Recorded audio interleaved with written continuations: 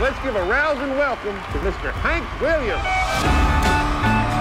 All right, boys, let it roll. Hey, good looking. When he first came to see me, he played some songs he'd written and I offered him a contract right then and there. Cooking something up with me. love me? Most of the time, I do. Said, hey, sweet baby. Congratulations. You have a son, Mr. Williams.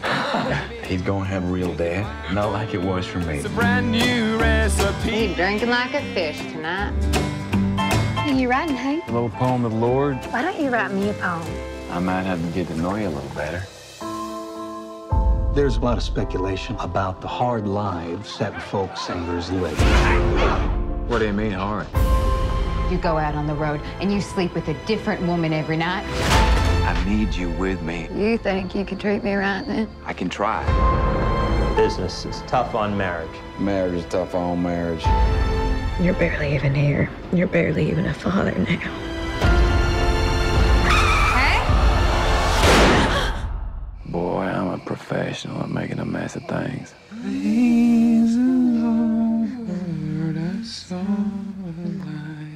Everybody has a little darkness in them.